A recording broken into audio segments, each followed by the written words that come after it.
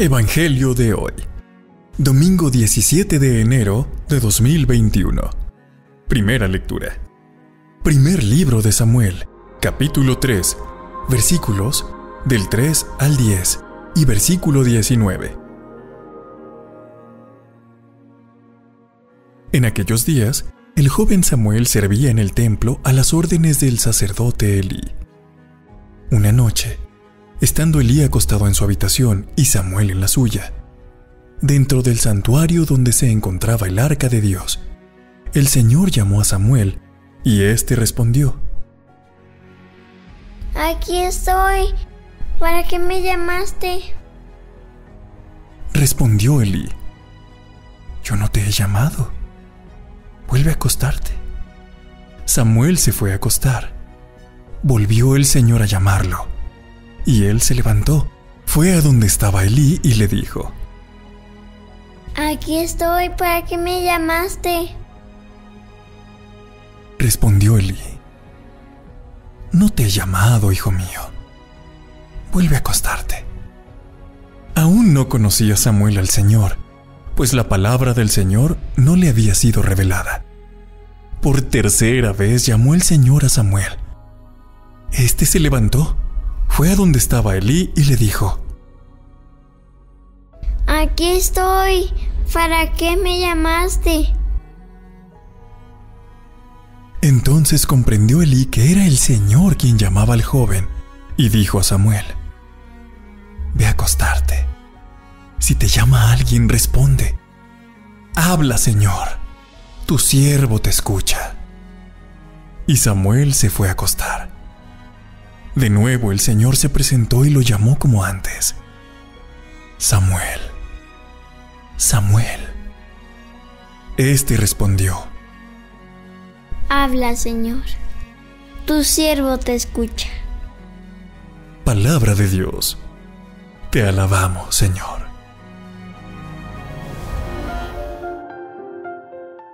Salmo responsorial. Aquí estoy, Señor, para hacer tu voluntad. Esperé en el Señor con la gran confianza. Él se inclinó hacia mí y escuchó mis plegarias. Él me puso en la boca un canto nuevo, un himno a nuestro Dios. Aquí estoy, Señor, para hacer tu voluntad. Sacrificios y ofrendas no quisiste. Abriste en cambio mis oídos a tu voz. No exigiste holocaustos por la culpa. Así que dije, aquí estoy. Aquí estoy, Señor, para hacer tu voluntad. En tus libros se me ordena hacer tu voluntad. Esto es, Señor, lo que deseo, tu ley en medio de mi corazón. Aquí estoy, Señor, para hacer tu voluntad. He anunciado tu justicia en la gran asamblea. No he cerrado mis labios.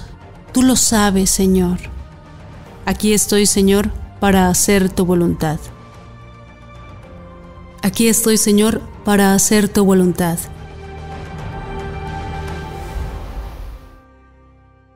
Segunda lectura. Primera carta del apóstol San Pablo a los Corintios, capítulo 6 versículos del 13 al 15 y del 17 al 20. Hermanos, el cuerpo no es para fornicar, sino para servir al Señor, y el Señor para santificar el cuerpo. Dios resucitó al Señor y nos resucitará también a nosotros con su poder. ¿No saben ustedes que sus cuerpos son miembros de Cristo? y el que se une al Señor se hace un solo espíritu con Él. Huyan, por lo tanto, de la fornicación. Cualquier otro pecado que cometa una persona queda fuera de su cuerpo, pero el que fornica peca contra su propio cuerpo. ¿O es que no saben ustedes que su cuerpo es templo del Espíritu Santo, que han recibido de Dios y habita en ustedes? No son ustedes sus propios dueños, porque Dios los ha comprado a un precio muy caro. Glorifiquen pues a Dios con el cuerpo. Palabra de Dios. Te alabamos, Señor.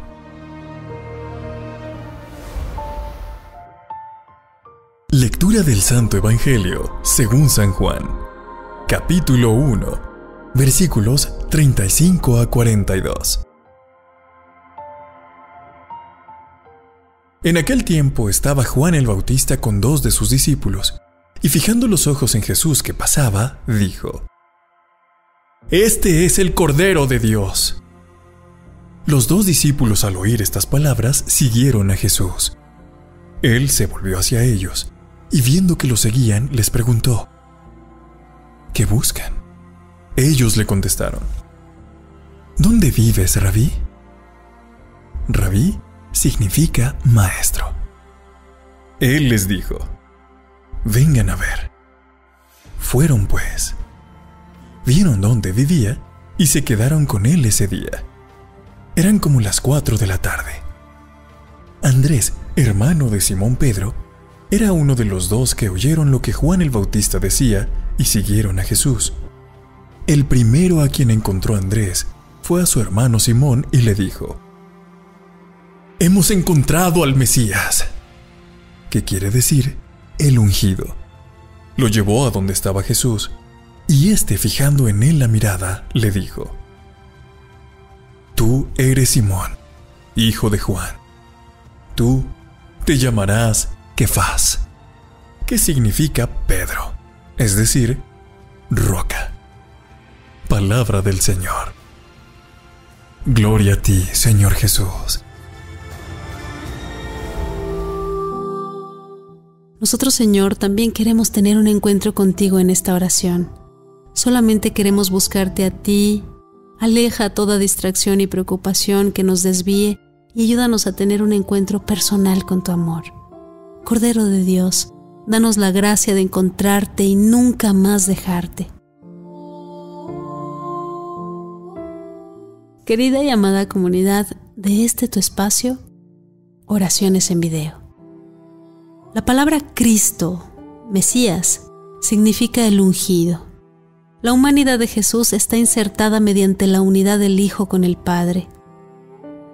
Cuanto más nos unimos a Cristo, más somos colmados por su Espíritu, por el Espíritu Santo, y nos llamamos cristianos, ungidos, personas que pertenecen a Cristo y por eso participamos en su unción.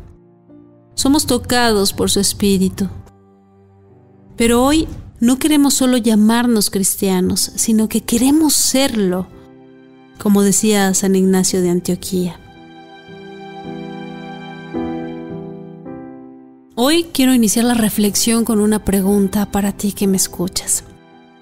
¿Puedes recordar la ocasión cuando primero te encontraste con Jesús y te inclinaste a seguirlo? Hoy el texto del Evangelio nos destaca el gran momento para dos de sus discípulos, a las 4 de la tarde. Después, piensa en todos los encuentros subsecuentes que has tenido con Jesús aquellos tiempos en que te encontraste con Él después de una larga espera, otros momentos cuando te consolaste profundamente con su presencia y no querías que terminara ese tiempo de oración. La fidelidad, amada hermana y amado hermano que me escuchas, a un tiempo estable para la oración, es una gran ayuda en el desarrollo de tu relación con el Señor es un acto de generosidad y como dice San Pablo, Dios no se excede en generosidad. Cuando tu corazón esté seco y vacío, todo lo que puedes donar es tiempo, pero eso es suficiente. Es bueno que estés ahí. Y pasan muchas cosas más de las que tú sabes. El Señor está siempre trabajando en tu vida. Puedes orar con Él y decirle, quédate conmigo y entonces yo empezaré a brillar como lo haces tú de manera de ser luz para los demás. Si tienes tiempo para orar con el Evangelio de hoy, podrías estar quieto por unos momentos y escuchar los sonidos que te rodean. Luego, deja que Jesús diga las palabras, Vengan y lo verán. Varias veces, con una pausa entre cada vez. Vengan y lo verán. Vengan y lo verán. De modo que tú puedas percibir el tono de su voz y la expresión de su rostro. Y entonces deja que esa pregunta que sugiere tu búsqueda se impregne en tu vida hoy. ¿Qué estás buscando? Muchos hoy dirán, no busco nada, solo trato de sobrevivir. Pero hoy es un momento de seriedad. Démonos cuenta de que nos gustaría que nuestras vidas significaran más que solo ir, gastar, comer o dormir. Señor, queremos que nos mires como tú miraste a Simón. Invítanos a ver por dónde podemos encontrarte y poder permanecer contigo. Invítanos para saber cuáles son los anhelos más profundos de nuestro corazón intranquilo. Dinos qué es lo que estamos buscando y tratando de obtener en nuestra vida. Tan a menudo hemos oído solamente la mitad de la invitación tuya a acercarnos a ti, a formar un hogar contigo con tu persona, con tus enseñanzas y con tu estilo. Jesús, tú nos dices a nosotros, tú no estarías buscándome a no ser que tú me hayas ya encontrado. Ayúdanos a encontrarte aún más profundamente en nuestros tiempos de oración. Señor, que podamos crecer en el conocimiento del Espíritu. Bendícenos con un claro sentido de nuestro llamado Haznos sensibles a la acción de tu Espíritu. Danos la libertad para ser tus testigos a nuestra actual situación. El escultor Miguel Ángel estaba modelando con su cincel una inmensa pieza de mármol sin forma y se le escuchó decir, Estoy liberando el ángel que está prisionero en este mármol. ¿Qué se liberó en Pedro cuando los ojos de Jesús lo miraron? Que se libera en nosotros cuando los ojos de Jesús nos miran. Pidámosle que sea el Miguel Ángel de nuestro corazón hecho roca y lo moldee a su imagen y semejanza. Hoy, mediante el Evangelio, he experimentado el amor de Dios en mi alma. Trataré que los demás también puedan gozar de este maravilloso encuentro. Gracias Señor por permitirnos encontrarte en esta oración. Ahora, Señor Padre nuestro, no dejes que nos encandilemos con las tentaciones del mundo. Realmente queremos responder a tu llamado y cumplir cabalmente tu voluntad, aunque nos cueste. Permite que nuestro testimonio de vida sea un puente para que otros también te sepan buscar y encontrar.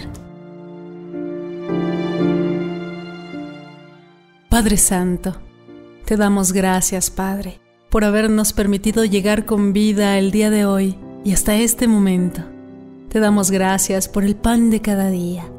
Te pedimos, Padre, que con este Evangelio y el de todos los días nos permitas renacer como personas, como seres incorruptibles. Ayuda a todas las personas del mundo que en este momento elevan sus peticiones personales hacia ti.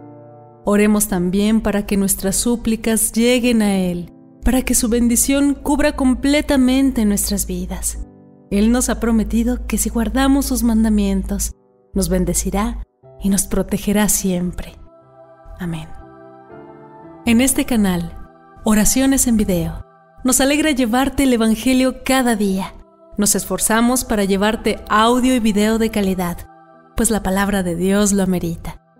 La enseñanza es el llamamiento más importante pues Evangelio quiere decir buenas noticias.